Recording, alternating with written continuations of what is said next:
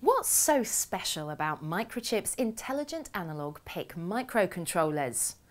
Well, for a start, Microchip has already debugged the noise and communications issues that reduce analog signal integrity. That simplifies your board design and ensures that your design will deliver more consistent analog performance. Also, by integrating the analog functions onto the microcontroller, the system cost and design complexity are drastically reduced. And because Microchip has integrated the analog into its PIC microcontrollers using intelligent connections, you get a faster data path. It also means that the analog parameters are fully controllable through software, making analog design just so simple. Microchip's intelligent analog PIC microcontrollers simplify designs and help you get to market faster.